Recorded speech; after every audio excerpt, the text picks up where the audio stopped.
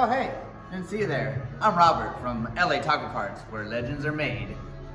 Got the Al Pastor machine here. Have you ever had this problem?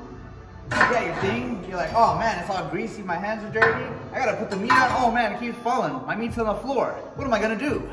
Well, we got a solution for that. We got the stacker.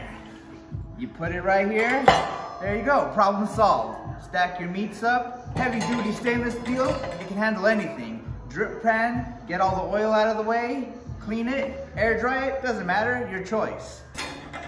Take it off, go back to your machine, slide it and start cooking.